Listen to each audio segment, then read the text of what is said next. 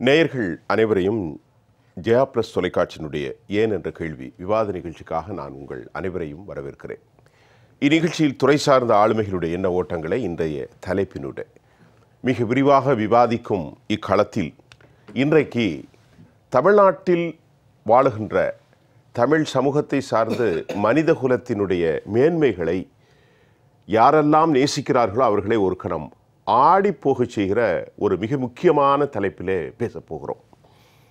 பதினேழு வயது சிறுமி வேலைக்கு செல்கின்றால் அது திராவிட முன்னேற்ற கழகத்தினுடைய எம்எல்ஏவருடைய மகனும் மருமகளும் வாழுகின்ற அந்த வீட்டில் அவளுக்கு நடந்த ஒரு மகா கொடுமையை குறித்து ஒட்டுமொத்த தேசமே அதிர்ந்திருக்கின்றது தமிழக ஊடகங்கள் இது குறித்து மிகப்பெரிய அளவில் கட்டுரைகளை ஜெயா ப்ளஸ் நம்முடைய சேனல் வெளியிட்ட ஒரு காலகட்டத்தில் இது குறித்து தமிழ் சமூகம் இது மாதிரியாக வெளிப்படையாக பேசுகின்ற இவர்கள் ஏன் இது போன்ற ஒரு அநீதி இழைத்திருக்கிறார்கள் என்பதுதான் கேள்வி. வீட்டிலே அடைக்கப்பட்டிருக்கக்கூடிய இந்த சிறுமி திமுகவினுடைய எம்எல்ஏ வீட்டிலாவது சேர்ந்தாலாவது தன்னை கைவிட்டு சென்ற தந்தை வறுமையின் பிடியில் தாய் சம்பாதிக்கின்ற இந்த பொருளை வைத்து நீட் தேர்விலே நாம் வெற்றி பெறலாம் என்ற ஆசை கனவுகளோடு திமுக பல்லாவரம் தொகுதி எம்எல்ஏ திரு கருணாநிதியினுடைய மகன் ஆண்டோ மற்றும் அவருடைய மருமகள் இருவர் வீடு வாழுகின்ற அந்த வீட்டிலே வேலை செய்கின்றார். அந்த பிள்ளையை அவருடைய மருமகள் செய்த கொடுமையை சொல்லி மாறாது தோழர்களே நண்பர்களே. பட்டியலின சமூகத்தை சார்ந்த அந்த பெண் அதையும் தாண்டி மனித விழுமியங்கள் என்னானது? அவருடைய மார்பகத்தில் கரண்டியால் அடிக்கப்படுகின்றது. உடலில் பல இடங்களில் சூடு வைக்கப்படுகிறது. தலை அடிக்கப்படுகின்றது. இன்னும் சொல்ல முடியாத எழுத முடியாத வார்த்தைகளால் அர்ச்சனைகள். இவை அனைத்தையும் தாங்கி கொண்டு அந்த தாய் தன் பிள்ளையை பார்ப்பதற்கு திமுக பல்லாவாரம் எம்எல்ஏ மகனுடைய வீட்டிற்கு செல்கிறார். பல முறை தன் பிள்ளையை பார்ப்பதற்கு உரிமை மறுக்கப்படுகின்றது.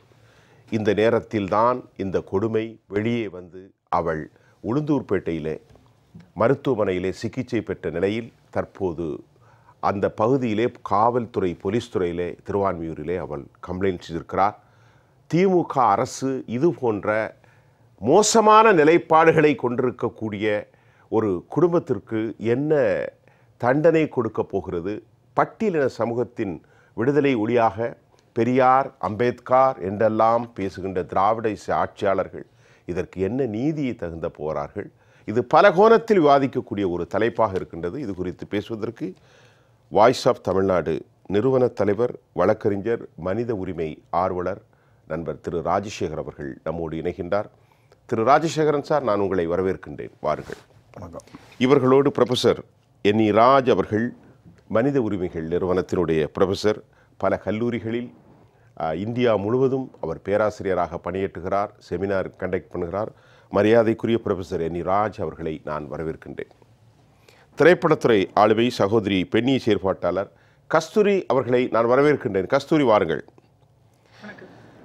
செஸ் இயக்குனர் டாக்டர் மனோரமா உங்களையும் நான் வரவேற்கின்றேன். இந்த நிகழ்ச்சிக்கு உள்ளே செல்வோம். விஓடியினுடைய நிறுவன தலைவர். நான் லேசாக ஒரு தொட்டு வச்சுருக்கேன். இந்த சம்பவத்தை குறித்து நீங்கள் எப்படி பார்க்குறீங்க சொல்லுங்கள் இல்லை இந்த சம்பவம் வந்து வன்மையாக கண்டனத்துக்குரிய ஒரு சம்பவம். ஏன்னா நீங்கள் இந்த சம்பவத்தை ஊடகங்கள் முக்கியமாக ஜெயா தொலைக்காட்சி வந்து தொடர்ந்து நீங்கள் வந்து இந்த செய்தியாக இதை வந்து பதிவு பண்ணிக்கிட்டு வரீங்க. ஒரு அரசின் இந்த ப்ரெஸ் ரிலீஸ் ப படித்தேன் அதில் என்ன சொல்கிறாங்க பதினெட்டு வயது மதிக்கத்தக்க ஒரு பெண்ணுன்னு தான் மருத்துவமனையிலேருந்து ஒரு ரிப்போர்ட் வாங்கியிருக்காங்க. உளுந்தூர்பேட்டை அரசு மருத்துவம் அப்படி இருக்கும்போது இந்த இந்த சம்பவத்தில் வழக்கு பதியப்பட்டிருக்குது. அனைத்து மகளிர் காவல் நிலையம் திருவான்மியூர் அதாவது நீலாங்கரைக்கு வந்து திருவான்மியூர் தான் ஜூரிஸ்டிக்ஷன் அதான் நீலாங்கரையில் இருந்தாலும் மக அனைத்து மகளிர் வந்து திருவான்மியூரில் தான் இருக்குது. ஸோ அங்கே பதியப்பட்டிருக்குது. விசாரணை நடந்து கொள்ள நட நடத்தப்படுகிறதுன்னு சொல்கிறாங்க இது வந்து ஒரு தரப்பின் நம்மளுக்கு கிடைத்த தகவல். தகவல். இன்னொரு தரப்பு ஊடகங்களும் அந்த பெண் என்ன சொல்கிறாங்கன்னா நம்ம. கவனிக்கணும். இதில் வந்து அந்த பெண் உங்கள் உங்கள் சேனலில் வந்து நீங்கள் போடுறீங்க. அந்த படங்கள் அந்த பெண்ணின் காயம்லாம். இதெல்லாம் வந்து விசாரணைக்கு உட்படுத்தப்பட்டு கண்டிப்பாக இதை செய்த யாராக இருந்தாலும் தண்டிக்கப்பட வேண்டும். அதில் மாற்று கருத்து இடமில்லை. பட் என்னை பொறுத்தவரை இதில் வந்து ஜாதி ம- இதுக்காக பண்ணாங்க. அப்படின்லாம் சொல்கிறது கொஞ்சம் மிகைப்படுத்தலாம் தெரியுது. நான் வந்து உடனே அந்த எனக்கு யாருனே எம்எல்ஏ யாருன்னே தெரியாது. அது வேறு விஷயம். But on merits of the case வந்து both sides of the coin நம்ம பார்க்கணும். இரண்டு இரண்டு தரப்பையும் நம்ம பார்க்கணும். இது வந்து கண்டிப்பாக இந்த பெண்ணுக்கு நடந்த இந்த எந்த விதமான சித்திரவதையோ கொடுமையோ தாக்குதலோ அடியோ எந்த வாட் எவர் சினானிம்ஸ் நீங்கள் சொல்கிறீங்களோ அதுக்கு எல்லாத்துக்கும் கடுமையாக நடவடிக்கை எடுக்கணும். அதில் மாற்று கருத்தே கிடையாது. சார் ஒரு சின்ன குறுக்கீடு. நீங்கள் ஒரு வழக்கறிஞர். உயர்நீதிமன்றம் மட்டுமல்ல உச்சநீதிமன்றத்துடைய வழக்கறிஞரும் கூட. இந்தியாவில் இங்கே ஏன் பட்டியலின பெண்கள் என்று நாங்கள் இதை சுட்டிக்காட்ட வேண்டிய கடப்பாடு எங்களுக்கு ஏன் இருக்கிறது என்றால் சாதி ரீதியாக நாம் இந்த கேள்வி எழுப்பவில்லை.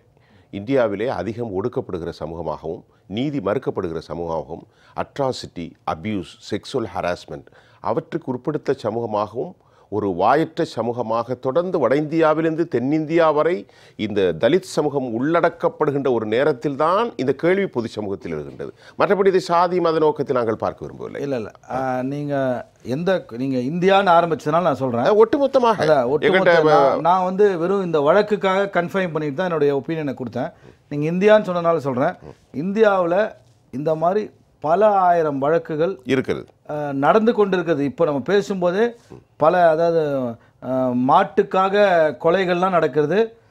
அதற்காக பல சம்பவங்கள் நாங்கள் குரல் எழுப்பியிருக்கோம். ஏன் பல சமூக வலைதளங்களில் பதிவு பண்ணியிருக்கோம்.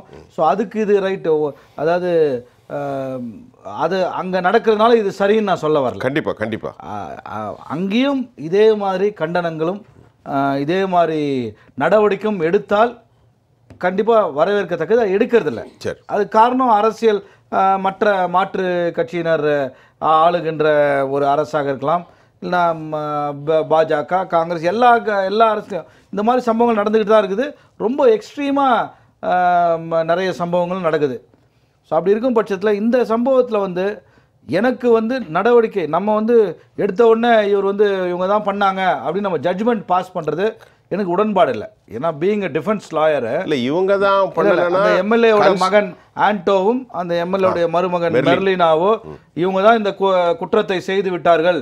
இவங்க தான் இவங்க பண்ணது தப்பு அவங்கள விட உடனடியாக கைது பண்ணி அவங்கள கன்விக்ட் பண்ணி தூக்கில் போடணும்னு சொல்கிறது வந்து எனக்கு அறவே உடன்பாடு கிடையாது. ஏன் கிடையாதுன்னா ஒரு வழக்கை அனைத்து தரப்பிலும் ஃப்ரம் த வாதி பிரதிவாதி இரு இரண்டு பக்கத்தையும் தீர விசாரணை பண்ணி அதற்கேற்றாற்போல் போல் சாட்சியங்களும் அமைய வேண்டும். இப்படி தான் ஒரு வழக்கை நாங்கள் பார்க்க வேண்டும். ஒரு வழக்கறிஞராக நான் சொல்கிறேன். ஒரு வழக்கை அனைத்து தரப்பிலும் பார்த்து merits and demerits of the case பார்த்தா தான் சொல்ல முடியும். இந்த வழக்கு இப்போத்துக்கு பிரைமா ஃபேஸை எஃப்ஐஆர் போட்டாச்சு. விசாரணை நடக்குது. இப்படி இருக்கும் பட்சத்தில் இதில் வந்து மிகைப்படுத்தி இதை வந்து இது செய்யணும். அவங்க வந்து ஓடிட்டாங்க. இது இதை செய்வாங்களா? அந்த ஆட்சி செய்துருமா? இந்த க- முதலமைச்சர் பதில் சொல்வாரா? முதலமைச்சர் தானே பொறுப்பு? இப்படிலாம் சொல்கிறது வந்து உண்மையிலே பைத்தியக்காரத்தனம். ஏன்னா எங்கேயோ ஒரு ஒரு ஒரு ரிமோட் இடத்துல ஒரு சம்பவம் நடக்குது. அதற்கு முதலமைச்சர் தான் செய்யணும். நான் வந்து திமுக ஆதரித்து பேசவில்லை. நான் பியூர்லி ஆன் மெரிட்ஸ் தான் பேசுகிறேன் எல்லாத்துக்கும். ஏதாவது ஒரு சம்பவம் நினச்சா உடனே முதலமைச்சர் ராஜினாமா பண்ணுவாரா? ஐயா உங்கள்கிட்ட குறுக்கீடு செய்வதற்கு நியாயமான காரணம் எனக்கு உண்டு. என்னை மறுத்து பேசுவதற்கு நியாயமான காரணம் வழக்கறிஞர் ராஜசேகருக்கு உண்டு. ஒரு பெண் பதினேழு வயது பெண். இவளுக்கு எந்த பதினெட்டு வயதுன்னு கவர்மெண்ட் பதினெட்டு வயது. ஒரு கான்ஸ்பிரசியோ ஒரு பொலிட்டிசிசமோ தெரியாது. டசின் ஹாவ் எனி பொலிட்டிசிசம் அப்படி இருக்க வாய்ப்பு இல்லாமல் அவள் புரோக்ளமேஷனை ஒரு பிரகடனத்தை கொடுக்குறாள். ஐயா நான் இந்த மாதிரி அநியாயத்துக்கெல்லாம் வந்து கதறுகிறாள் எவிடன்ஸ் கதிரோடு இருக்கிறார்கள். இதுக்கு மேலே பிரைமா ஃபேஸ் இருக்கிறதா? இல்லையா? அது யாரை விசாரிக்கணும்? உள்ள என்ன நடந்தது? டொமஸ்டிக் வயலன்ஸா நான் domestic it has been take long time process இல்ல நான் இது வந்து ஒரு நீண்ட நேரம் இருங்க இந்த இந்த வழக்கை உங்க சேனல்ல பார்க்கும்போதே அந்த பெண் எப்போ வேலைக்கு சேர்ந்தாங்க எவ்வளோ நாள் பணியாற்றுறாங்க அவங்களுக்கு வந்து எப்போ இந்த சம்பவம் நடந்தது நீங்கள் உங்கள் இதை பார்த்தீங்கன்னா அவங்க நல்லா சந்தோஷமாக இருக்கிற மாதிரி தான் ஒரு ஃபீல் தெரியுது. ஏன்னா கையிலலாம் மருதாணிலாம் போட்டுக்கிட்டு இருக்கிறாங்கன்னா அவங்க இந்த சம்பவத்தில் அதுக்காக மருதாணி போடுறது குற்றம் போடக்கூடாது அப்படிலாம் நான் சொல்ல வரல. அதில் அவங்களுடைய எந்த மாதிரி எந்த காலகட்டத்தில் நடந்தது எதுவுமே தெரியாது. ஸோ யூகத்தின் அடிப்படையில் ஒரு காழ்ப்புணர்ச்சியோடு பேசுவது சரியாக இருக்காது. இந்த வழக்கை பொறுத்தவரை ஆலுமன்ஸ் போலீஸ் ஸ்டேஷன் திருவான்மியூரில் வழக்கு எஃப்ஐஆர் போட்டிருக்காங்க. அவங்க விசாரிக்கணும். இரண்டு தரப்பையும் அழைத்து விசாரித்து இது வந்து கண்டிப்பாக இது நீதிமன்றத்துக்கு போவோம். பொது வழியில் இருக்கும். விவாதம் பண்ணுவீங்க. இப்போ இந்த நீங்கள் விவாதத்துக்கு எடுத்ததே வரவேற்கத்தக்கது. இதெல்லாம் ரைட்டு பட் ஒரு வழக்கை வந்து நம்மளே உட்காந்து டிவி சேனல்ல உட்காந்து ஜட்மெண்ட் பாஸ் பண்ணி இவங்களை தூக்கில் போடுங்க இவங்க பண்ணிட்டாங்கன்னு சொல்றது எனக்கு உடன்பாடு கிடையாது. we, have a not நீங்க இல்ல. we have a no right to decide everything. நான் a, the- ஒரு டிபேட் இல்ல இல்ல பொதுவா ஒரு கருத்தை வந்து இந்த மாதிரி வழக்குகளை பொறுத்தவரை தீர விசாரித்து அதில் இருக்கும் உண்மையை கண்டறிந்த பிறகு நடவடிக்கை எடுப்பதுதான் சரியான ஒரு செயலாக இருக்கும்னு நான் பார்க்குறேன். வழக்கறிஞரா. வணக்கம் கஸ்தூரி. நான் உங்களை இந்த நிகழ்ச்சிக்கு நான் சுஃபியான் வரவேற்கிறேன். கஸ்தூரி இப்போ நீங்கள் பேச முனைகிறீர்கள். நம்முடைய வழக்கறிஞர் ராஜசேகர் அவர்கள் அதில் இருக்கக்கூடிய உள்ளார்ந்த புறம் என்னென்ன நகர்வுகளை எல்லாம் நீங்களும் ஒரு வழக்கறிஞர் தான். இந்த ரெண்டு பேர் இடத்துல பாரு வித்தியாசப்படுகிறதா? இந்த விஷயத்தை நீங்கள் எப்படி பார்க்குறீங்க கஸ்தூரி? எனக்கு வந்து அவரு நிறைய தரம் வழக்கறிஞரா சொல்றேன் லாயரா சொல்றேன். Court will take due process இந்த மாதிரி வார்த்தைகள் எல்லாமே கோடுங்க. இதெல்லாம் இப்ப நீங்க வந்து இந்த டியூ ப்ராசஸ் சட்டம் தன் கடமையை செய்யும் வழக்கு நிலுவையில் இருப்பதால் இதை பற்றி பேசக்கூடாது. இந்த மாதிரி பேசுறது என்னன்னா இன்னைக்கு யதார்த்தத்தை உண்மையை முதல்ல நம்ம உடைச்சு பேசுவோங்க. இப்படி எல்லாம் பேசுறது என்னன்னா நாங்க இதை மூடி மறைப்போம். இன்னும் கொஞ்ச நாள்ல இதை மறக்கடிப்போம். இப்பவே முட்டு கொடுக்கிறாரு ராஜசேகர் அவர்கள். அவருடைய நிலைப்பாட்டை நான் ஆதரிக்கல நான் ஆதரிக்கலன்னு சொல்லிட்டு அவர் தெளிவா முட்டு தான் கொடுத்துட்டு இருக்காரு நமக்கு எதுவுமே தெரியாது இல்லையா? உண்மையே தெரியாது இல்லையா? ஐயா என்னையா உண்மை தெரியணும் உங்களுக்கு? அந்த பொண்ணு இத்தனை நாளா சித்திரவதைப்பட்டிருக்கு. எஃப்ஐஆர் இதோ இன்னைக்கு எவிடன்ஸ் கதிர் வந்து வீடியோ வெளியிடுற வரைக்கும் எஃப்ஐஆர் பதிவு பண்ணப்படல. கையில மேந்தி போட்டிருக்குன்னு சொல்றீங்க. ஐயா த- அமெரிக்காவுல அடிமைகளாக இருந்த கருப்பு நிறத்துல கூட குழந்தை பெத்துக்கிட்டாங்க. ஆஹ் அப்ப அவங்க எல்லாம் குழந்தை பெத்துக்கிட்டாங்க. ரொம்ப நல்லா இருந்தாங்கன்னு சொல்லுவீங்களா அடுத்தது? அந்த பொண்ணு பொங்கலுக்காக ஊருக்கு தப்பிச்சு போயிருக்கு. விதவிதமா மன்றாடி பொங்கலுக்கு தப்பிச்சு போயிருக்கு. அப்ப நல்லபடியா அருமையா மிரட்டி இன்னைக்கு வாக்குமூலத்துல தெளிவா சொல்லியிருக்கு. மிரட்டி ரெண்டு லட்சம் ரூபாய் நாங்க உனக்காக கொடுத்துருக்குறோம். எழுதி கையெழுத்து போட்டுட்டு போ. இத பத்தி பேசுனேன்னா வகுந்துருவோம். உன் ப தம்பிய லாரிய வச்சு கொன்றுவோம். உங்க அம்மாவை உள்ள வச்சு அடைச்சிருவோம். வெளியவே வர முடியாது. அப்படி என்னெல்லாம் மூளை செலவை செய்ததாக நம்பிதான் வெளியே விட்டுருக்காங்க. ஏழு மாசம் அது கூட பண்ணல. இப்பதான் விட்டுருக்காங்க. அந்த பொண்ணு பொங்கலுக்கு ஊருக்கு போன இடத்துல இருபத்தி நாலு மணி நேரமும் அழுதுட்டே இருக்கணுமா? இருபத்தி நாலு மணி நேரமும் நீதி கேட்டு போலீஸ் ஸ்டேஷன்லயே இருக்கணுமா? இந்த மருதாணி போடுறதுக்கு முன்னாடி அவ்வளவு பெரிய காயம் இருக்கு. அதை பத்தி பேச மாட்டேங்கிறீங்க நீங்க. எவ்வளவு பெரிய முட்டு அது? வழக்கறிஞர் வழக்கறிஞர். நான் அதெல்லாம் புரியாத வார்த்தைங்க. வழக்கு நிலுவையில் இருக்கிறதால் இதை பற்றி நாம் கருத்து கூறுவது சரியாக இருக்காது. அப்படின்னா என்ன அர்த்தம்னா எனக்கு இப்போதைக்கு இதை பத்தி பேசினா எனக்கு பிரச்சனை. அதனால நாங்க தப்பிக்கிறதுக்கான விஷயங்களை பார்ப்போமா? இல்ல உங்ககிட்ட வந்து உண்மையை பேசிக்கிட்டு இருப்போமா? அதான் அது சங்கேத வார்த்தை. அந்த பொண்ணு பதினேழு வயசுலதான் சேர்ந்திருக்கு. பதினெட்டு பூர்த்தி ஆகிறதுக்கு முன்னாடி அந்த பொண்ணு அந்த வீட்டுல சேர்ந்துச்சா? பதினெட்டு பதினெட்டு பதினெட்டுன்னு அவசர அவசரமா கதறதோட காரணம் அது. நான் லா பாயிண்ட் லா பாயிண்ட் ஒன்னா சொல்றேன். பதினெட்டு வயசு பதினெட்டு வயசுன்னு எல்லாரும் இப்ப புலம்புறதுக்கு காரணம் அது பாக்ஸோ ஆயிடக்கூடாது அப்படிங்கிற பயம்தான். கஸ்தூரி! நீ கஸ்தூரி இப்ப ராஜசேகர் வந்து நீங்க சொல்ற நீங்க ஒரு வழக்கறிஞர் ராஜசேகர் வழக்கறிஞர். நீங்க என்ன கேக்குறீங்க? எங்க அப்பன் குதிர்க்குள்ள இல்லைங்கிற மாதிரி நான் திமுகவை ஆதரிக்கல நான் திமுகவை ஆதரிக்கலன்னு பேசுறதுக்கு அவருக்கும் திமுகவுக்கும் காரணம்னு சொல்ல வரீங்களா என்ன சொல்ல வரீங்க முட்டு கொடுக்குறான்னு இது வரைக்கும் எல்லா கட்சியிலயும் இருந்திருக்காரு. அதாவது அப்பப்போ அவருடைய நிலைப்பாடு மாறும். அத பத்தி நாம இங்க பேச வேண்டிய அவசியம் இல்ல. ஆனா இன்னைக்கு விவாதத்துல திமுக உடைய ஒரு ஆளும் கட்சி சம்பந்தப்பட்ட ஒரு பிரச்சனையாக இருப்பதால் மிக தயக்கத்தோடு இல்ல இல்ல நம்ம ரெண்டு பக்கத்தையும் பார்க்கணும். ரெண்டு பக்கத்தையும் எப்படி பாப்பீங்க ஒருத்தங்க எஃப்ஐஆர் ரெஜிஸ்டர் பண்ணல. அந்த பொண்ணு வாயால சொல்லுது. அதுவும் தவறா? ஏன் எஃப்ஐஆர் ரெஜிஸ்டர் பண்ணல? இங்க தேடி இருக்காங்க உளுந்தூர்பேட்டையில போய் கேட்டிருக்காங்க. திருப்பி சோசியல் மீடியால வந்து இது ஒரு பேசு பொருள் ஆகிற வரைக்கும் எந்த சேனலா சொன்னாங்களாங்க?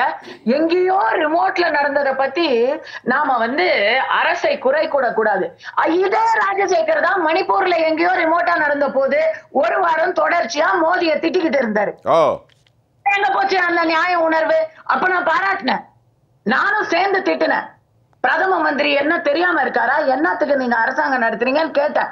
அந்த கேள்வி இப்ப கேட்கணும் இல்ல நேர்மையா நியாயமானவரா இருந்தா? யாரா இருந்தாலும் சொல்றேன். அவரை தனிப்பட்ட முறையில சொல்லல. இப்ப இது இதெல்லாம் எவ்வளவு விதமான ஆஹ், சாக்கு போக்குகள் சொல்ற ஒரு விஷயமாங்க இது. அந்த பொண்ணு சரிங்க. அந்த குழந்தை இல்ல பாக்ஸோ இல்லன்னு வச்சுக்கலாம். மத்த செக்ஷன்லாம் நீங்க வந்து ஒரு பொண்ணை first of all child labour அப்படிங்கிறது தவறு. செகண்ட் ஆஃப் ஆல் இந்த பணம் கொடுத்து ஏஜென்ட் மூலமா மொத்தமா பணம் கட்டி கடனுக்கு கடனை அடக்கிறதுக்காக பாண்டட் லேபர் இதுக்கு பேரு அக்ரிமெண்ட் லேபர் இல்லைன்னா இண்டெம்னிட்டி லேபர் சாருக்கு நல்லா தெரியும். பாண்டட் லேபர் இது. பாண்டட் லேபருங்கிறது தடை செய்யப்பட்டு எத்தனை வருஷம் ஆச்சு சார் இந்தியாவுல? ஒரு எம்எல்ஏ பொண்ணுக்கு தெரியாதா அது? தெரியாதா அது சட்டப்படி குற்றம்னு? கஸ்தூரி. பணம் ஒரு பெண்ணை ஒரு சிறு ஒரு பெண்ணை படிக்க வைக்கிறேன்னு சொல்லி பொய் சொல்லி கூட்டிட்டு வந்து எங்க சார் படிக்க வச்சீங்க? பொய் சொல்லியிருக்காங்க. ஆன்லைன் கிளாஸ்ல நாங்க போட்டோன்னு. அந்த பொண்ணுக்கு ஒரு வருஷம் போச்சு ஃபியூச்சர் போச்சு கை காலு முதுகு ஹேர் ஸ்ட்ரைட்டர்னால கைய இழுத்திருக்காங்க கண்ணுல. சரிங்க இதெல்லாம் விடுங்க. கபடியில் அடிச்சுக்கிடுச்சு தானா. சார் இப்ப எம்எல்ஏ திமுக எம்எல்ஏ கருணாநிதி அவர்கள் அவரோட ஸ்டேட்மெண்ட்ல சொல்லியிருக்காரு. அந்த காயெல்லாம் ஏற்கனவே இருந்துச்சு. இன்னைக்கு அந்த பொண்ணு காட்டுற காயெல்லாம் ஆறு மாசம் முன்னாடில இருந்து இருக்கிற காயம் மாதிரி இருக்கா உங்களுக்கு?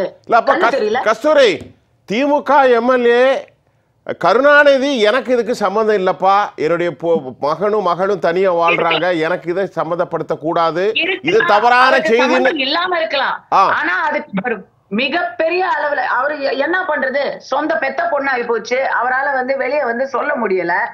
ஆனா மிகப்பெரிய அளவுல கண்டனம் தெரிவிச்சிருக்கணும் வேணும் எங்க? கனிமொழி மேடம் எங்க? என்ன ஆனாங்க? இங்க இருக்கக்கூடிய பெண்ணிய போராளிகள்லாம் எங்க போய் ஒளிஞ்சுக்கிட்டாங்க?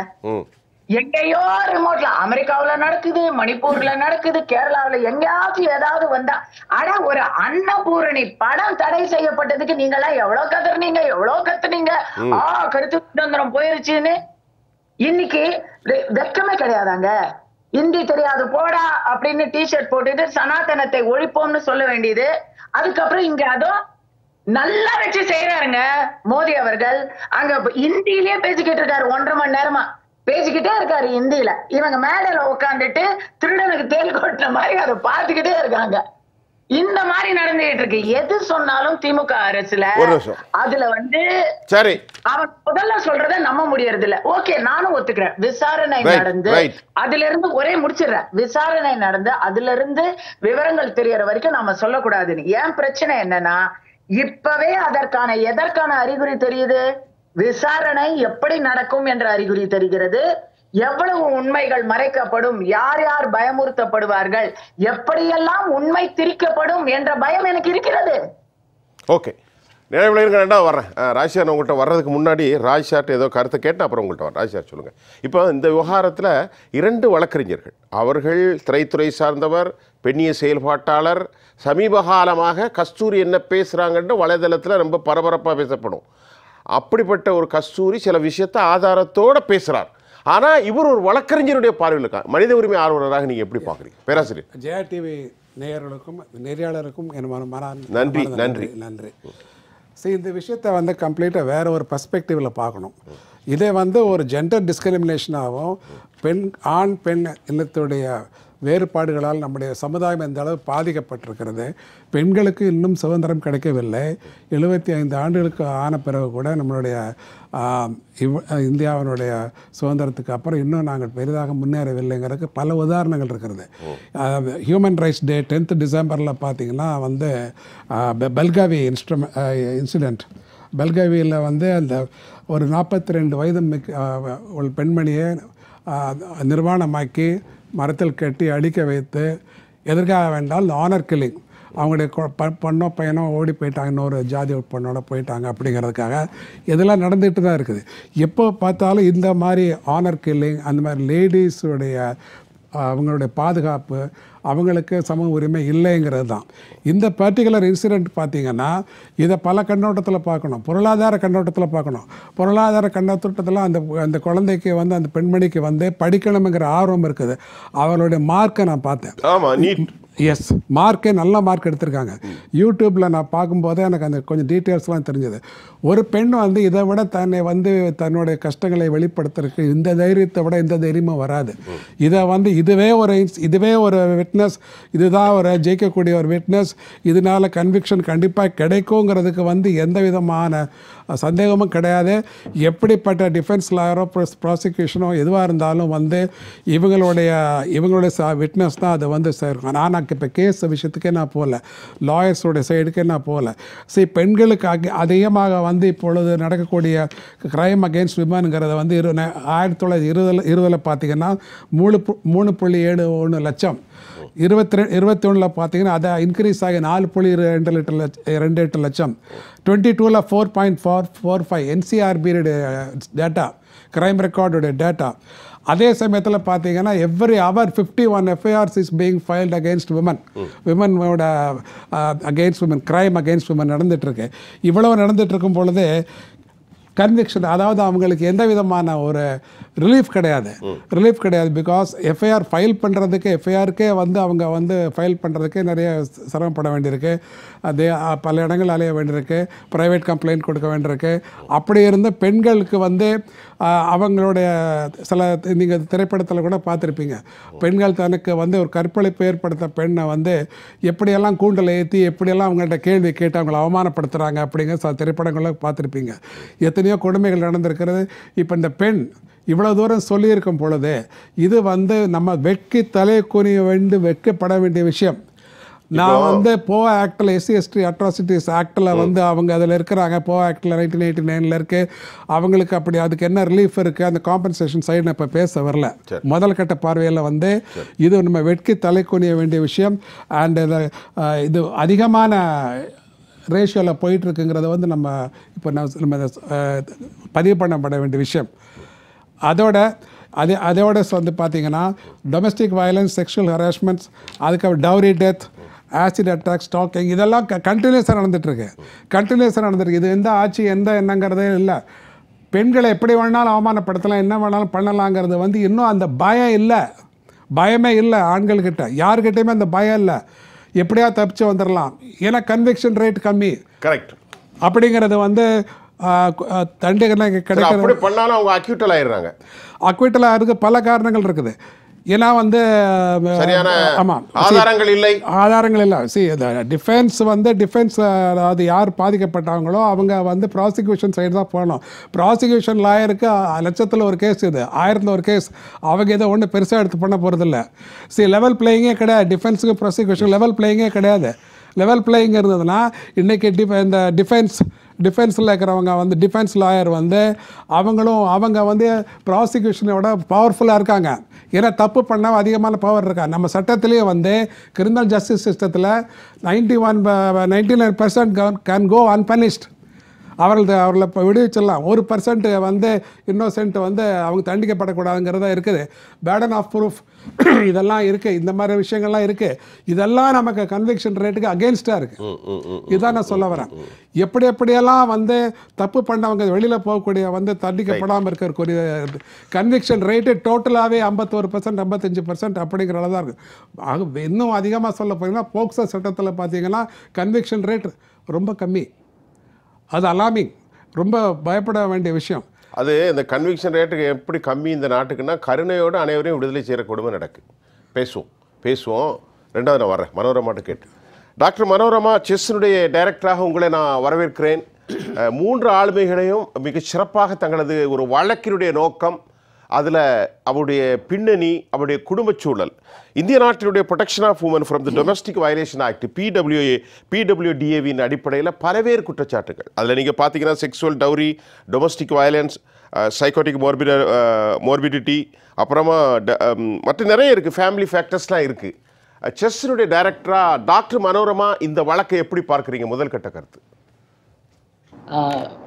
வணக்கம் வணக்கம். வணக்கம். முதல்ல வந்து இந்த இஷ்யூவை டிபேட்டுக்கு கொண்டாந்த ஜெயா பிளஸுக்கு என்னுடைய நன்றியை தெரிவித்துக் கொள்கிறேன். நன்றி ரெண்டாவதாக. ரொம்ப தைரியமாக முன் வந்து அந்த குழந்தை அவ வந்து சொல்லியிருக்கிறது ஒரு பெரிய விஷயம். ஏன்னா இன்னைக்கு நிறைய குழந்தைங்களுக்கு தெரியும். சொல்ல மாட்டாங்க. நான் வந்து சைல்ட் வெல்ஃபேர் கமிட்டி சேர்பர்சனாக ஐந்து ஆண்டுகள் இருந்தேன். ஒரு குழந்தை வாய் திறந்து பேச வைப்பதே ரொம்ப கடினம். இப்போ இந்த பிள்ளைய பொறுத்த வரைக்கும் இவளுக்கு பதினேழா பதினெட்டான்றது ரொம்ப ரொம்ப முக்கியமான ஒரு விஷயம். ஏன்னா பதினேழு வயது அப்படியா இருந்தால் வி நீட் ப்ரூஃப் அதுக்கு ஆதாரோ இல்லை அவளுடைய பர்த் சர்டிஃபிகேட்டோ ஸ்கூல்ல இருந்து வாங்கி கொடுத்தோம்னா it becomes a juvenile problem இப்போ பதினெட்டுக்கு மேலேன்னா it becomes a women problem. And women ஆகட்டும் இல்லை சைல்டு ஆகட்டும் தே ஹேவ் த ரைட்ஸ் எல்லாருக்குமே ஹியூமன் ரைட்ஸ் இருக்கு.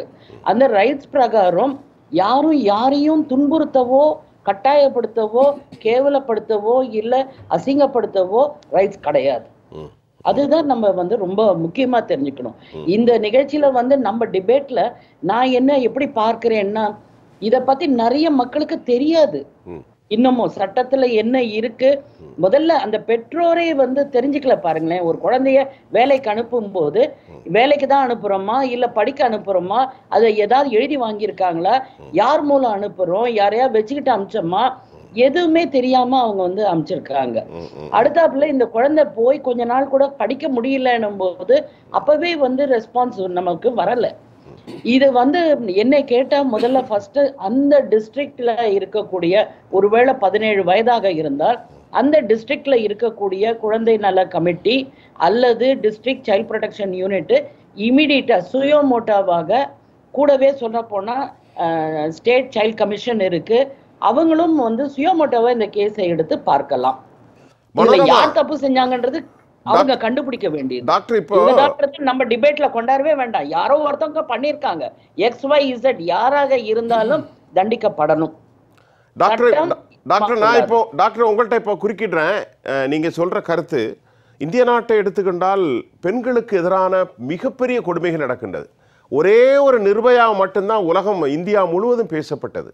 கோடிக்கணக்கான நிர்பயாக்கள் நீங்கள் சொல்வதை போன்று வெளியே வரவே இல்லை.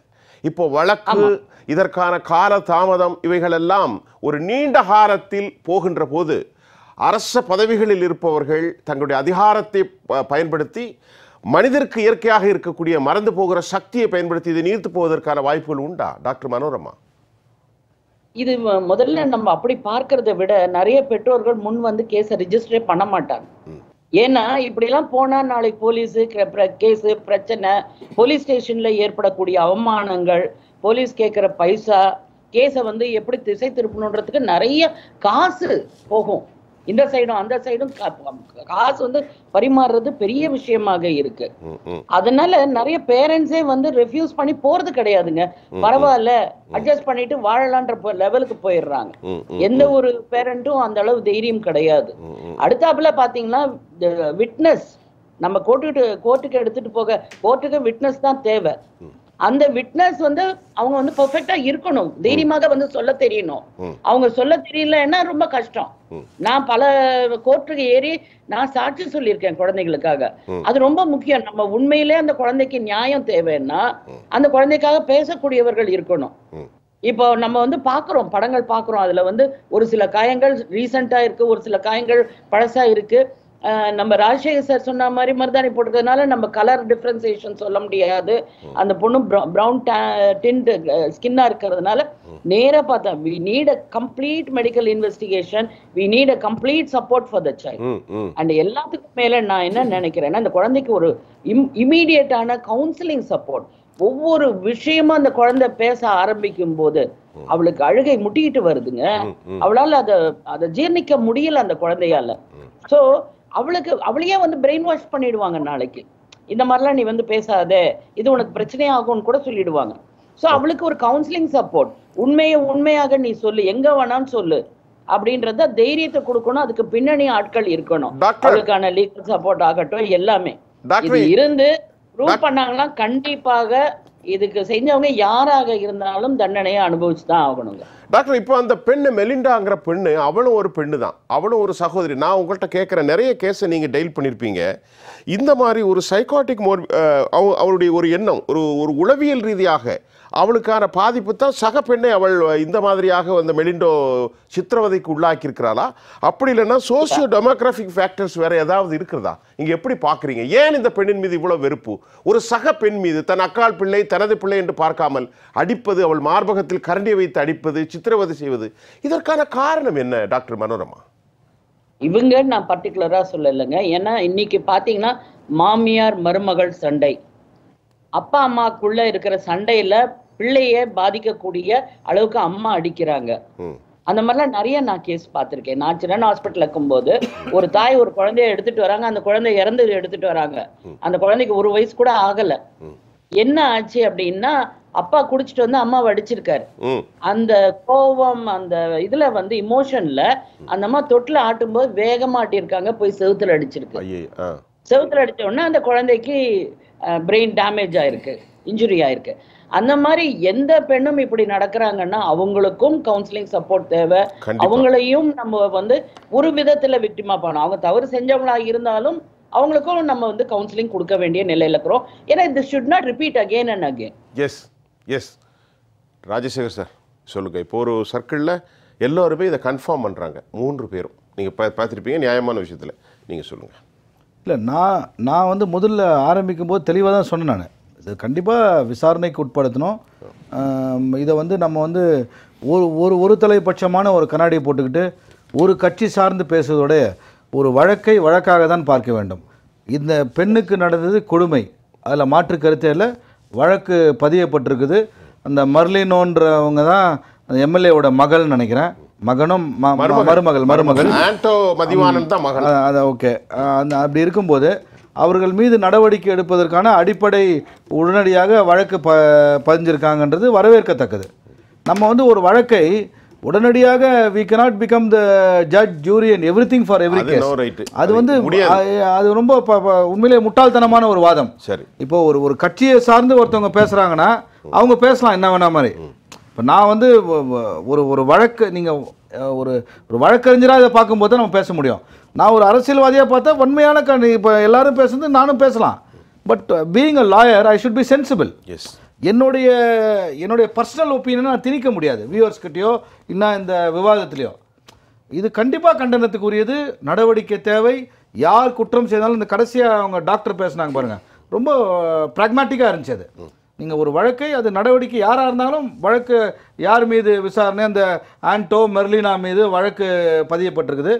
உடனடியாக அவங்க விசாரணை நடத்தணும். ஆலுமன்ஸ் போலீஸ் ஸ்டேஷன் ஆன்சரபிள். இல்லைனா அது நீதிமன்றத்துக்கு போவோம். நீதிமன்றத்தில் அந்த வழக்கை எடுத்துக்கொண்டு அது கண்டிப்பாக எ- எல்லா தரப்பும் கண்டிப்பாக ஊடகங்கள்லாம் இருக்க மாட்டாங்க. பிரிண்ட் மீடியாவும் சரி டிவி மீடியாவும் சரி இது செய்தியாக்குவாங்க சமூக வலைதளங்களில் கேள்வி கேட்பாங்க. அப்படி ஒன்றும் it's not so easy to get away. நம்ம ஒரு வழக்கை வந்து அப்படி தான் பார்க்கணும். எனக்கு வந்து பிடிக்காதுன்றதுக்காக அதாவது ஒரு ஒரு நான் ஒரு வன்மத்தோட ஒரு எக்ஸ்ட்ரா அப்படியே சார்ஜ் ஆகி நான் கத்த முடியாது. It it sound funny on my அப்போ ம், அது அது அது அது இட்ஸ் நாட் ஃபேர் நான் வந்து நடவடிக்கை தேவை. அதில் மாற்று கருத்தே இல்லை. எனக்கு வந்து திமுகவை பிடிக்கும் பிடிக்கும் நான் திமுகவை அதிகமாக எதிர்த்து பேசுகிறோம் நான் தான். ஒரு நாள் பே ஒரு நாள் விவாதத்தில் நான் வந்து ஒரு சட்ட ரீதியாக பேசும்போது முட்டு கொடுக்குறேன்னு பேசுகிறாங்க அஹ், பெண்ணிய செயற்பாட்டாளர் நடிகை கஸ்தூரி அவர்கள் வந்து நான் வந்து முட்டு முட்டு கொடுக்கல.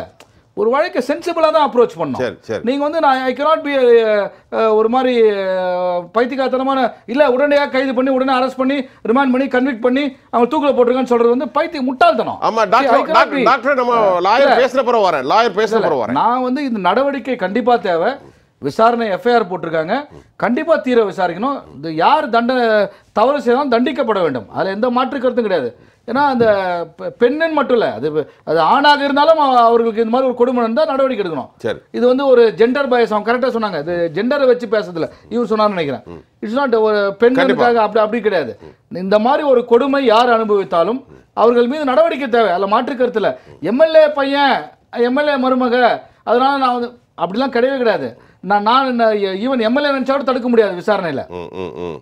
இப்போ அந்த முக்கியமான விஷயம் அந்த டாக்டர் சொன்னாங்க இந்த ஸ்டேட்மெண்ட் ஃபியூச்சர் இன்வெஸ்டிகேஷன்ல அந்த பாதிக்கப்பட்ட பெண் விக்டிமோட statement investigation how she is going to cooperate அவங்க என்னென்ன ஸ்டேட்மெண்ட் ரெக்கார்ட் பண்றாங்க அவங்க அவங்களுடைய ஸ்டேட்மெண்ட் இஸ் வெரி இம்பார்ட்டன்ட் சப்சிக்வெண்ட்டாக ஒரு ஸ்டேட்மெண்ட் மட்டும் போதாவது it has to be corroborated with evidences and I witness இருக்குதா? இவங்க சொன்ன சம்பவத்துக்கும் அவங்க இருந்த பீரியடுக்கும் மேட்ச் ஆகுதா? இதெல்லாம் போலீஸ் தீர விசாரிக்கணும்.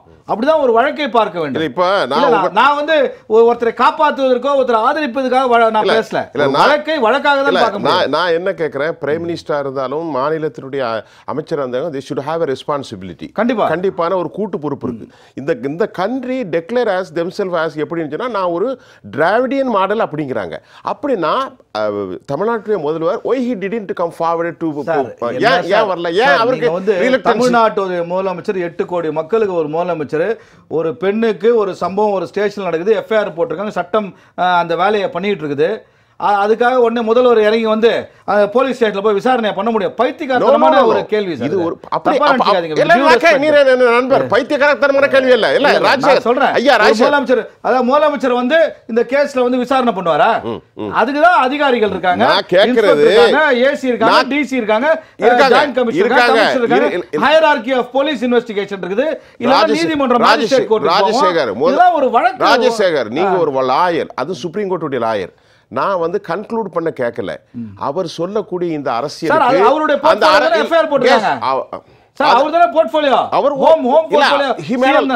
அவர் வந்து நிறைய ஸ்டேட்மெண்ட் வெளியிடும் போது இப்படிப்பட்ட அரசு நான் இருந்து- அரசு ஒருபோதும் தலை சாய்க்காது. எம்முடைய அரசு சரியான பாதையில் இருக்கும் என்று ஒரு ஆறுதலான ஒரு வார்த்தை சொன்னால் என்ன? மிஸ்டர் சுஃபியான். பிரஸ் ரிலீஸ் கொடுத்துருக்காங்க. சரி. அதுல தெளிவா நீங்க படிச்சு பாத்தீங்கன்னா தெரியும்.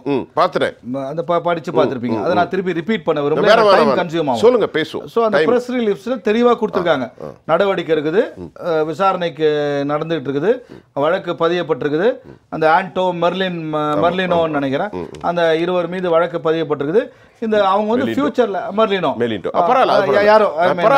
ஸோ இப்படி இருக்கும் பட்சத்துல ஒரு வழக்கை நான் இப்போ டிவியில் உட்காந்து நான் வந்து மற்றவங்க நீ நீங்களாம் க கத்துறீங்க நீங்களாம் சத்தமாக பேசி இது இப்படி தான் நடக்கும்னு சொல்லி நானும் அப்படி சேர்ந்து நான் பேசுனேன்னா அப்ப நீங்க இதுவரையும் சத்தமே போட்டதில்ல சார் சத்தம் போடணும் சார் சத்தம் போ இருங்க சத்தம் போடுறது வச்சிருக்கிறாங்க இல்ல இல்ல கஸ்தூரி கண்டிப்பா சிரிப்பாங்கல்ல அவங்க வந்து ஒரு ஒரு நான் நான் இப்போ வந்து நான் வந்து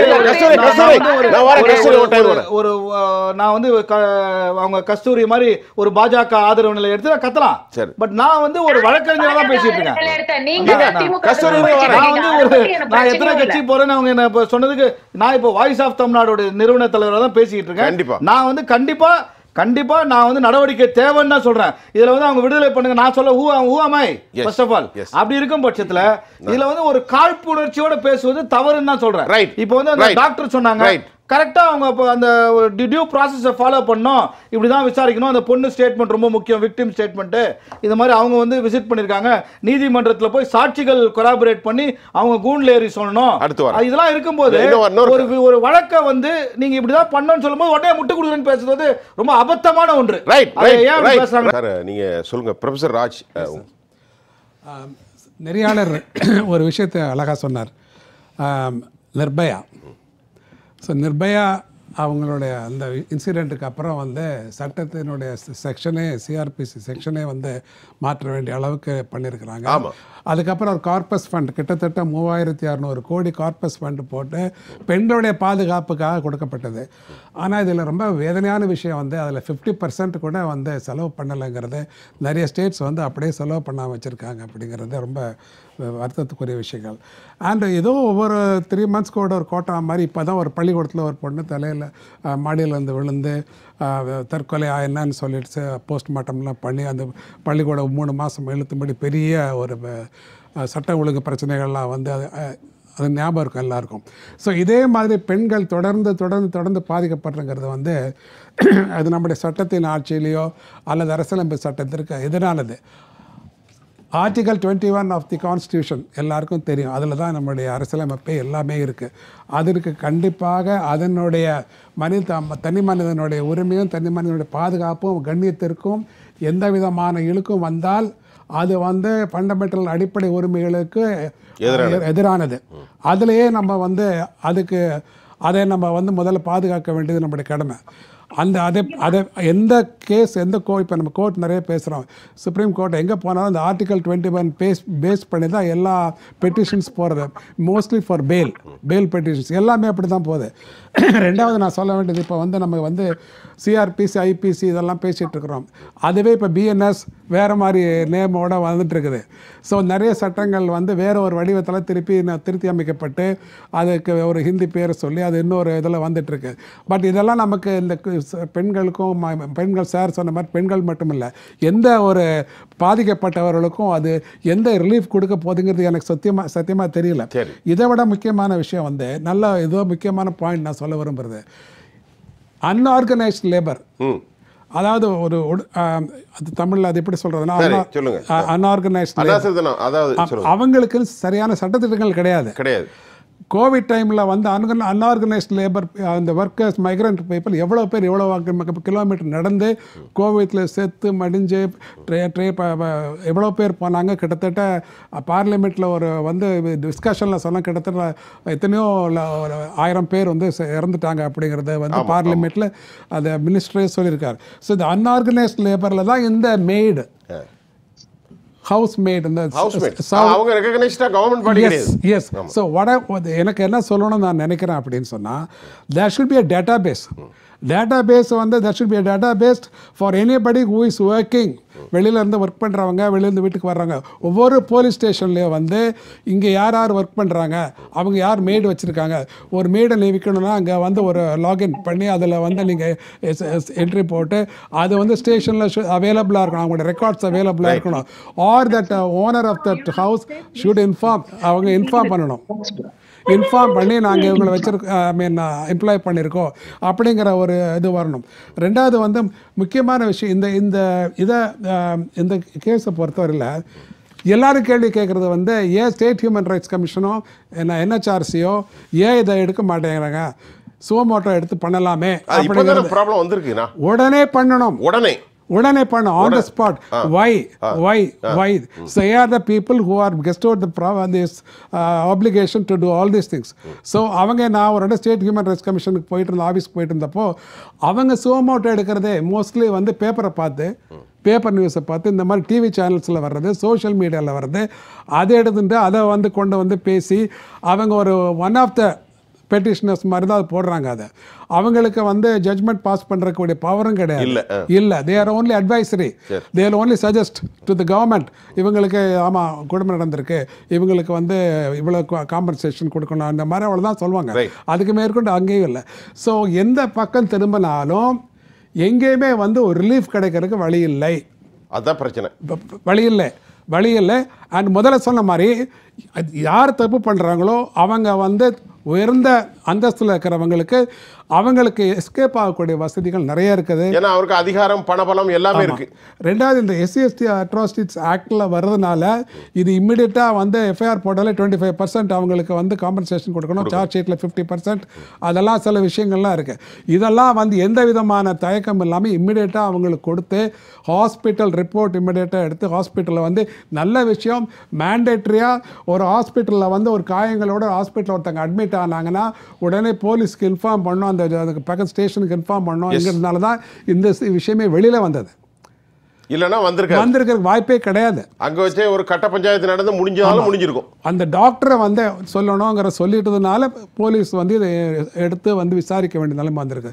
ஸோ மேடம் சொன்ன மாதிரி ஒரு பெண்கள் வந்து எந்த பெண்கள் மட்டும் இல்லை சார் சொன்ன மாதிரி ஆண்கள் யாராக இருந்தாலும் தங்களுக்கு கிடைக்கிற அநீதி இப்போ ஒரு ஜல்லிக்கட்டு சொல்கிறான் நேற்றுக்கு ஏன் நான் தான் இப்போ ஃபஸ்ட்டு ப்ரைஸுங்கிறான் ஆனால் வந்து அவனால் ப்ரூவ் பண்ணுறேன் நான் வீடியோ வச்சுருக்கேங்கிறான். எல்லா இடத்துலையும் அநியாயம் நடக்குது. பட் ப்ரூவ் பண்ணி வர்றதுக்கு ரொம்ப கஷ்டமான விஷயம். It's impossible to overcome Yes. அது மேலே வர்றது. நம்ம வெயிட் பண்ணுவோம். இதை வந்து அதனால தான் இது சமூக ரீதியாகவும் நம்ம பேச வேண்டியிருக்கு. அதாவது திரு ராஜசேகர் அவர்கள் சொன்ன கருத்து ஏற்புடையதான். ஆனாலும் இந்த சமூக ரீதியாக பேசுவதற்கு நான் ஒரு கேள்வியை டாக்டர் மனோரமாட்ட எழுப்பிட்டு வரேன். டாக்டர் மனோரமா இப்போ என்ன கேள்வினா தமிழ்நாட்டில் சமீப காலமாக நீங்கள் ஒரு மிக முக்கியமான ஒரு ஆளுமையாக இருக்கிறீங்க செஸ்னு வேங்க வயல் சம்பவத்தில் மலம் கலக்கப்படுகிறது. குளிச்சுட்டு வந்த ரெண்டு தலித்துகள் அடிக்கப்பட்டு நொறுக்கப்பட்டு ஆதிக்க சாதிகளால் ஒரு ப- ஒரு ஒரு மாதத்துக்கு முன்னாடி திருநெல்வேலி நடந்தது தாமிரபரணி ஆற்றில்.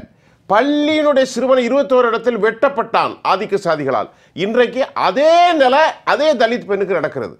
இங்கே எனது கேள்வி என்னவென்றால் இவர்களை கேட்பதற்கு யாரும் இல்லை. நாங்கள் அதிகாரத்தை வைத்து இவர்களை மையப்படுத்தி விடலாம் என்ற சிந்தனை இருக்கிறதா? உங்கள் அனுபவத்திலே கேளுங்கள். டாக்டர் மனோரமா எப்படி பார்க்கின்றீர்கள்? அதாவது சொல்லுவாங்க எந்த ஒரு ப்ரோக்ராமாக இருந்தாலும் எந்த ஒரு இன்டர்வென்ஷன் ஆகினாலும் அந்த சார்ந்த மக்கள் யாருக்காக நம்ம செய்யறோமோ அவங்களுடைய பங்கேற்பு இருந்தால்தான் அந்த ப்ரோக்ராம் வெற்றிகரமாக வரும். கண்டிப்பா. ஸோ அதனுடைய தலைவர்களோ இல்ல அவங்களுக்காக பேசக்கூடியவர்களோ. அவங்களுக்காக வேலை செய்யக்கூடிய தன்னார்வ தொண்டு நிறுவனங்களோ அவங்களுக்காக போராடுற மருத்துவர்களோ இல்ல வழக்கறிஞர்களோ யாரா இருந்தாலும் இத பெரிய அளவுல எடுத்துட்டு போடுங்க. கண்டிப்பாக எடுத்துட்டு போகணும் இது கொஞ்சம் நெஞ்சம் இல்லை. நீங்க டெய்லி பேப்பர் மீடியா பாத்தீங்களா டெய்லி ஒரு கேஸ் டெய்லி ஒரு கேஸ் ரொம்ப கஷ்டமா இருக்கு. ஒரு நாள் நைட்டு படுக்க போறேன். பன்னெண்டரை மணிக்கு நான் பாக்குறேன். ஒரு பெண்ணை வந்து கரும்பு இதுல வந்து தோட்டத்துல. வச்சு அந்த கரும்பை கட் பண்ணி அவளுடைய பெண் உறுப்புக்குள்ள செலுத்தி கொண்டிருக்காங்க அந்த பெண்ணை. இந்த மாதிரி நிறைய நம்ம வந்து படிக்கிறோம். ஆனா அதை படிச்சுட்டு என்ன ஆயிடுது? அடுத்த கேஸ் வந்தோம்னா அதுக்கு போயிடுறோம். அவ்வளவுதான். அந்த மாதிரி இல்லாமல் ஒருங்கி ஒருங்கிணைஞ்சு இதுக்கு ஒரு தீர்வு கொண்டாடணும். ஆக்சுவலா நீங்க வந்து பாத்தீங்களா இப்ப எப்படி பாக்ஸோ சட்டம் வந்தது. ஜுனைல் ஜஸ்டிஸ் ஆக்ட்ல நிறைய திருத்தங்கள் வந்திருக்கு. அடாப்ஷன்றதுல நிறைய திருத்தங்கள் வந்திருக்கு. இப்போ நான் என்ன ஃபீல் பண்றேன்னாங்க நம்ம இந்த செய்தியோட இல்லாமல் இந்த பெண்ணை சுற்றி இருக்கிறவங்க அந்த பெண் முதல்ல பதினேழு வயதுன்னா அவளை உடனே வந்து சைல்ட் வெல்ஃபேர் கமிட்டிக்கும் அந்த டிஸ்ட்ரிக்ட் சைல்ட் ப்ரொடெக்ஷன் யூனிட்டுக்கும் போனா அங்க இருக்கிறவங்க கண்டிப்பாக உதவி செய்வாங்க. அது எனக்கு நம்பிக்கை இருக்கு. ஏன்னா அந்த மாதிரி நிறைய கேஸ் நாங்க பார்த்துட்டு இருக்கோம் தினந்தோறும் பார்க்குறோம். இது வெறும் பிசிக்கல் அபியூஸ் மட்டும் இல்லைங்க. செக்ஷுவல் அபியூஸ் ஆகட்டும் திருமணம் ஆகட்டும் எவ்வளோ விஷயங்கள் நாங்க வந்து தடுத்திருக்கோம். சோ அது வந்து அவங்க செய்யணும் எ- அடுத்தாப்புல இந்த பெண்ணுக்கு கூட இருக்கிறவங்க ரொம்ப ரொம்ப சப்போர்ட்டிவா இருக்கணும். நம்ம ஏன் அப்படின்னு விலகி கூடாது. சிலர்லாம் வந்து போய் கோர்ட்ல நம்ம சாட்சி சொல்லணுமா அப்படின்னு நினைப்பாங்க அது கூடாது. கண்டிப்பாக சாட்சி கொடுக்கணும். அந்த பொண்ணுக்கு நிறைய சப்போர்ட் இருக்கணும். Let us forget the abuser abuser வந்து சட்டம் பார்த்துக்கோங்க. கோர்ட் பார்த்துக்கோங்க. ஆனா அந்த பெண்ணுக்கான சப்போர்ட் வந்து இன்க்ரீஸ் பண்ணணும். அந்த பெண்ணுக்கான சப்போர்ட்டை நம்ம இன்க்ரீஸ் பண்ண பண்ண பண்ண கண்டிப்பாக சட்டம் தன் கையில் இந்த கேஸை எடுக்கும். ஏன்னா டுனல் ஜஸ்டிஸ் ஆக்ட் செக்ஷன் செவன்டி ஃபைவ்ல என்ன சொல்றாங்களோ whoever actually has charge of a child ம். And uh, assaults the child, abuses the child, Mm. uh, uh, exposes or willfully neglects the child, creates cruelty, causing the child mental changes, mental disturbances, கண்டிப்பா. physical problem, டெஃபினட்டா அதை வந்து அபியூஸ்ல எடுக்கிறாங்க. அதே மாதிரி நீங்க வந்து பாத்தீங்கன்னா செக்ஷன் செவன்டி நைனும் அதை பத்தி நிறைய சொல்லுது. இன்னைக்கு வந்து அவ்வளவு ஈஸியா யாரும் வந்து தப்பிச்சுக்க முடியாதுங்க இட்ஸ் வெரி டிஃபிகல்ட் செவன்டி சிக்ஸ்லயும் அதே தான் சொல்றாங்க சேயிங் இன்னும் அந்த குழந்தைகள் அவங்களுடைய ஏர்னிங்ஸ் கண்டிப்பா. அதை விட யார் வச்சுக்கிறதுக்கான இது கிடையாது அப்படின்னு. சோ நம்ம பொறுத்த வரைக்கும்.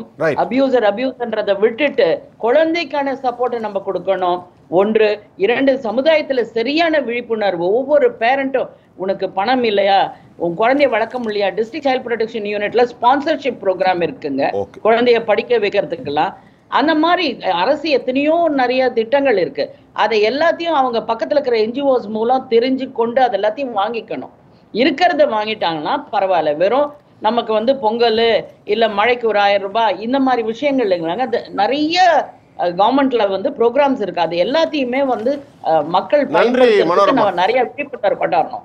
டாக்டர் அம்மா எடுத்துக்கிறேன். நேரம் கருது கஸ்தூரி உங்களுடைய நிறைய கருத்தை வைங்க. கஸ்தூரி. டாக்டர் மனோரமா சொன்ன ஒரு விஷயத்த நான் ரொம்ப ரொம்ப ஆமோதிக்கிறேன் அதுக்கு வந்து இப்போ நீங்க எனக்கு ஐடியா கொடுத்துருக்கீங்க இதை நம்ம எடுத்து அரசு மூலமாக ஏன் அத்தனை வாரியம் வச்சு.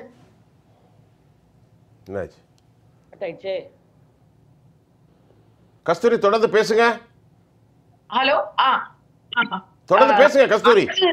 மூலமாக அரசாங்கத்தில் இருக்கக்கூடிய திட்டங்கள். ஏன் டாக்டர் மனோரமா சொல்லும்போது எனக்கு என்ன நினைவுக்கு வருதுன்னா என்னுடைய சொசைட்டி இருக்கு இல்லைங்களா? Apartment complex. அதுக்கு வந்து ஒரு செக்யூரிட்டி குரூப்புங்க வாட்ச்மேனா இருந்தாரு. அவருடைய பொண்ணு வந்து நல்லா படிக்கும். நல்லா படிக்கும் போது அவருக்கு பொருளாதார சூழ்நிலை தடங்களாக இருக்கிறது அப்படிங்கறதுனால அந்த பொண்ணை இன்ஜினியரிங் படிக்கிறதுக்கு பதிலா வெறும பிகாம்ல சேர்க்கலாம் அப்படின்னு அவர் ஐடியா பண்ணிட்டு இருந்தாரு. அப்ப நான் தான் ஆஹ், பெண்களுக்கான படிப்புக்கான உதவித்தொகை திட்டம் பத்தி நான் அவருக்கு சொல்லி அதுக்கு வந்து கை இதெல்லாம் வாங்கி ஃபார்ம்லாம் போட்டு ஸ்கூல்ல படிக்கிற பெண்ணுக்கு ஒரு அரசு பள்ளியில படிக்கக்கூடிய ஒரு குழந்தைக்கு அரசு பள்ளியிலேயே அடுத்து படிக்க கூடுவதற்கான என்ன வாய்ப்புகள் இருக்குன்னு சொல்றது இல்ல நம்ம அரசாங்கத்துல திருப்பி திருப்பி நீங்க சொல்ற மாதிரி பொங்கல் இனாமு அப்புறம் எலெக்ஷனுக்கு முன்னாடி என்னெல்லாம் கொடுக்கலாம் அப்படிங்கறத சொல்றாங்களே தவிர பிற்படுத்தப்பட்டவர்கள் ஆஹ், வாய்ப்புகள் மறுக்கப்பட்டவர்கள் குறிப்பாக பெண்களுக்கு எ- பிறந்தா மட்டும் போதுங்க. அதுக்கப்புறம் அரசாங்கத்துல அத்தனை திட்டங்கள் இருக்கு பெண்கள் முன்னேற்றத்துக்காக. அதையெல்லாம் ஸ்கூல் மூலமா சொல்றதுக்கு ஒரு ஆளு ஒரு ஆளு அரசு தரப்புல இருந்து வச்சா கூட போதும். வரிசையா அரசு பள்ளிகள்ல போய் இத ஒரு நாள் சொல்லணும்ன்ற ஒரு ஆள். என்னங்க டாக்டர்? கரெக்டா இல்லையா? நாங்க செய்றோங்க. நாங்க செய்றோம். எங்களை தடுக்காம இருந்தா போதும். இப்ப இங்க வந்து ஏஜென்ட் மூலமா தடுக்காம ஏங்க? வேலையே பயிரமேயுதுங்க நம்ம வந்து வழக்கு கோர்ட்டு அங்க வந்து நியாயம் கிடைக்கும்லாம் பேசிட்டு இருக்கோம். இங்க பாருங்க இதை முடிச்சிடுறேன். ஒரு எம்எல்ஏ அந்த எம்எல்ஏ உடைய மகனும் மருமகளும் ஒரு ஏஜென்ட் மூலமா காசு கொடுத்து ஒரு பொண்ணை வாங்குறாங்கன்னா அது தப்புன்னு அவங்களுக்கு தெரியாதா? ஒரு சட்டமன்ற உறுப்பினரோட குடும்பத்தினருக்கு தெரியாதா? அந்த பொண்ணை வந்து டார்ச்சர் பண்றது வந்து மிகப்பெரிய குற்றம் தெரியாதா? அந்த பொண்ணு தலித்துன்னு தெரியாதா? எவ்வளவு சாதி திமிரு இருந்தா? சமூக நீதி சமூக நீதின்னு சொல்லி எல்லாத்துக்கும் ஒரு கட்டமைப்பு பண்ணி வச்சிருக்கோங்க ஒரு நரேட்டிவ் இந்த சமூக நீதியில ஒன்லி பிராமின்ஸ் மிஞ்சி மிஞ்சி போனா நார்த் இந்தியன்ஸ் இவங்களதான் நம்ம எல்லாத்துக்கும் திட்டிடுவோம் அப்படி திட்டிட்டு மத்தவங்களை விட்டுருவோம். வேங்கை வயல்ல யார் செஞ்சாங்கன்னு உலகத்துக்கே தெரியும். இன்னைக்கு வரைக்கும் அரசாங்கத்தால கண்டுபிடிக்க முடியல. அடுத்தது இதுல ஏன்? சொல்லுங்க சாதிய சொல்லுங்க. சாதி கொடுமை இல்ல. இத சாதியா பார்க்க வேணாம். அப்படிலாம் பார்க்காதீங்க. பத்மா சேஷாத்ரியில யாரோ செஞ்ச தப்புக்கு அட்மினிஸ்ட்ரேஷனோட சாதியை எழுத்து பேசினவங்க தானே? கலாக்ஷேத்ரால மலையாளிஸ பிராமின்ஸ்னு பேசினவங்க தானே? இன்னைக்கு பேசுங்க. இந்த எம்எல்ஏவோட சாதிய பேசுங்க. தலித் குற்றங்களை ஒரு எந்த சாதி செய்தாலும் அந்த சாதிய பேசினாதான் அந்த சாதிக்காரங்களே அதுக்கு எதிரான குரலை கொடுப்பாங்க. அப்பதான் சமூக நீதி வரும். சும்மா எல்லாத்தையும் மூடி மறைச்சு சமூக நீதி நாங்க வந்து ஜஸ்டிஸ் பார்ட்டி ஆன்டி பிராமின் இந்த பாச்சாலியே எத்தனை நாளுக்கு? இன்னைக்கு என்ன? இன்னைக்கு எந்த ஜாதிய சொல்லுவீங்க? இது சாதி குற்றம் தான் ஒரு தலித்துக்கான நீ யாரு? ஒண்ணு இல்லாத நாயின்னு சொல்லியிருக்காங்க. நாயன் நீங்க ஒருத்தங்களை பார்த்து சொல்லிடுவீங்களா அப்படி? அது பெண்ணுக்கு எதிரான குற்றம் ஒரு குழந்தைக்கு எதிரான குற்றம் தலித்துக்களுக்கு எதிரான மாபெரும் குற்றம். எத்தனை செக்ஷன்ல பார்த்தாலும் குற்றம் குற்றம் குற்றம். அந்த செக்ஷன்ல தான் எதெல்லாம் வருதோ அதையெல்லாம் பேசித்தான் ஆகணும். சாதிய பேசாதீங்க ஜெண்டரை பேசாதீங்கன்னு நீங்க சொல்ல முடியாது. ஒரு ஆம்பளை பையன் அங்க வேலை செஞ்சிருந்தா அங்க இப்படிதான் நிர்வாணப்படுத்தி அசிங்கப்படுத்தி இருப்பாங்களா அதெல்லாம் இப்போ கஸ்தூரி ஒரு வழக்கறிஞராக உங்கள்கிட்ட நான் கேட்டுக்கிட்டு இருந்த மாதிரி இருந்துச்சு. உங்களுடைய பேச்சுக்களை ரொம்பவே ரசித்து கேட்டேன். அதையும் மட்டுமல்லாமல் ஒரு சமூகத்திற்கான நீதிமன்றம் என்று வைத்திருக்கிறீர்கள். அதை புரிந்து கொள்ளலாம். அரசினுடைய காதுகளில் உங்களுடைய குரல்கள் எட்ட வேண்டும். இங்கே டிஸ்கிரிமினேஷன் டிஸ்பாரிட்டி இல்லாமல் மனித சமூகம் அனைவரையும் ஒருங்கிணைக்க வேண்டும் என்ற ஒரு கேள்விக்கு உங்களுடைய பதிலை எடுத்துக்கொள்கிறேன். நேரம் முடிந்திருக்கிறது. ஏதோ சொல்ல வந்தீங்களா ஒரு நிமிஷம். ஒரே ஒரே வார்த்தை ஒரே ஒரே லைன் வெள்ளத்தில் வந்து நம்ம சந்தித்தோம் பேரிடர் மீட்பு குழுங்கிற மாதிரி அதெல்லாம் ஒரு இமிடியேட்டாக வந்து அட்டன் பண்ணுறதுக்கு தயார் நிலையில் ஒரு ஒரு யூனிட் இருக்குது. நான் அடிக்கடி நான் யோசி சொல்கிறது எல்லா இடத்துலையும் சொல்கிறது வந்து பேரிடர் பேரிடர் பெண்கள் பாதுகாப்பு குழு. அதுதான் முக்கியம். ஒரு சம்பவம் நடந்தால் இம்மிடியட்டாக போய் அங்கே இருந்து இம்மிடியட்டாக போய் counselling hospital treatment everything எல்லாமே எடுத்து செஞ்சு அதுக்கப்புறம் தான் மற்ற விஷயங்கள். சரி. இதுதான் என்னோட பார்வை. நல்ல பார்வை சார். இல்லை. சார் சுருக்கமாக சொல்லுங்கள் சார். இல்லை இந்த வழக்கு வந்து விசாரணைக்கு உட்படுத்திருக்குது. அந்த மருமகளுடைய ஒரு ஆடியோ ஏதோ ரிலீஸ் ஆயிருக்குது. அஹ் அவங்க நான் வந்து குடும்ப உறுப்பினராக தான் பார்த்தேன்னு சொல்கிறாங்க சரி. அப்படி இருக்கும் பட்சத்தில் அவங்க குற்றம் செய்திருந்தால் கண்டிப்பாக தண்டனையை அவங்க அனுபவிச்சே சொல்லிக்கிட்டே ஆனா இருக்கீங்க. ஆனா அஹ், நான் வந்து இப்போ சினிமா ஸ்கிரிப்ட் எதிரமா நம்ம நடிக்க முடியாது பேச முடியாது. இப்போ ம மற்றவங்களாம் பேசுவாங்க ஏன்னா அவங்களுக்கு எக்ஸ்பீரியன்ஸ் இருக்கும் நம்மளுக்கு இல்லாது. ஏன் கஸ்தூரி நான் தான் பேசிட்டேன். அவர் வந்து அப்படிதான் இல்ல நான் வந்து ஒரு சினிமா டயலாக் பேசுற மாதிரி பேசணும்னு எதிர்பார்த்தா கஷ்டம். நான் ஒரு வழக்கறிஞர் தான் பேச முடியும். சரி ரொம்ப நன்றி. அவர் மிக சிறப்பாக இந்த கருத்தை அந்த நிகழ்ச்சியில் வந்து நடத்தும்போது ஒரு உணர்வு வந்தது. நாம் இந்த மாதிரி நிகழ்ச்சியில் மிக சிறப்பான ஆளுமைகள் நம்மை விட வழக்கறிஞர்கள் மனித உரிமை ஆர்வலர் ராஜ் திரு விஓடியினுடைய நிறுவன தலைவர் ராஜசேகர் பெண்ணிய செயற்பாட்டாளர் கஸ்தூரி டாக்டர் மனோரமா செஸ்ஸினுடைய டைரக்டர் நீங்கள்லாம் பேசினதெல்லாம் பொதுமக்களுக்கு மட்டுமல்ல அரசினுடைய அதிகார மையங்களுக்கு கண்டிப்பாக எட்டும். அதற்கான வேலைகள் நடக்கும். ஜெயா ப்ளஸ் தொடர்ந்து இந்த வேலையை தான் பணி செய்து தமிழ் தொலைக்காட்சியில் இன்றைக்கு நாங்கள் எடுத்திருக்கிற நிகழ்ச்சி மக்களின் குரலாக தொடர்ந்து பேசத்தான் போகிறோம். உங்கள் அனைவருக்கும் ஜெயா ப்ளஸ் உளப்பூர்வமான நன்றி நான் தெரிவித்துக் கொள்கிறேன். மீண்டும் மற்றொரு கடத்தில் நான் உங்களை சந்திக்கின்றேன். அதுவரை உங்கள் அனைவரிடமிருந்தும் நான் உங்கள் சுஃபியான். ஜெயா ப்ளஸ் தொலைக்காட்சிக்காக விடைபெறுகிறேன். நன்றி. மீண்டும் சந்திப்போம்.